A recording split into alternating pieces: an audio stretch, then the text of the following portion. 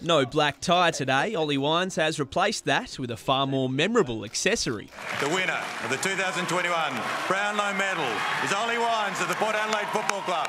I tried to get in early. There's a few of the other boys that probably got a sore head than me and fast asleep still. On the other side of the country, his three siblings in Melbourne had their own locked down celebrations.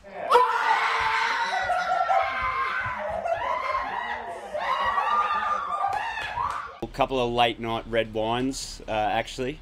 I didn't mean the pun there too, by the way. Up on the Murray in their hometown of Echuca, mum and dad had a fair crack themselves. She had the champagne out last night and dad was having a few beers at like 2am or whatever, so that's unheard of. Powered chairman David Koch not waiting that long to kick off his celebration. The first Port Adelaide Brownlow medalist. Bloody hell.